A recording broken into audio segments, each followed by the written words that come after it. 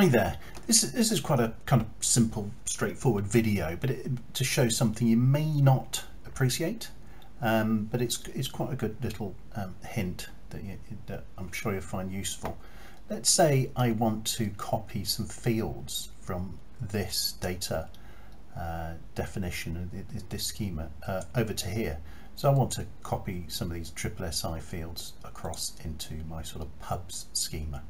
So I'm just looking at the data um, here. So under um, data design and fields, that's that's how I'm looking at this. And it's really absolutely straightforward. You literally just click on um, the fields you want. So I want SSI name, I want the area calculation. So I'm holding down control. If I hold down shift, I can copy a whole load.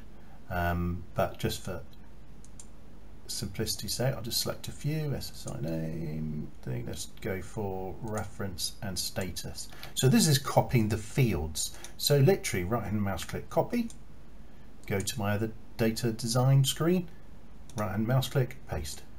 And there you go. Fields copied in, save you some typing or copying and pasting or whatever, um, you know, individually of text. And you can just do whole load in one go. Very simple. Hope you find that useful. Thanks.